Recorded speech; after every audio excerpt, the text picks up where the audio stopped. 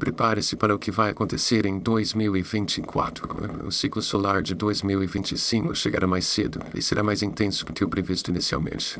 Já nos primeiros 10 meses de 2024, as tempestades solares podem subir a temperatura para mais de 50 graus, além de poderem causar apagões. Imagina você sentindo um calor de mais de 50 graus e não poder ligar o ar-condicionado devido à falta de luz? Sim, isso tem muitas chances de acontecer. As fortes tempestades solares ainda podem danificar infraestruturas elétricas, além de danificar os satélites de GPS e internet. Em 29 de janeiro de 2022, uma pequena tempestade solar teve o poder de destruir 29 satélites Starlinks. Então, imagina a capacidade destrutiva de uma tempestade dessa magnitude, uma prevista para ano que vem poderá ter. Calor de 50 graus, sem ar-condicionado, sem internet. Sim, as chances disso se tornar realidade são grandes. Então esteja preparado. Seria isso o início do fim dos tempos? Comente sua opinião, Finish Se tiver coragem, é claro.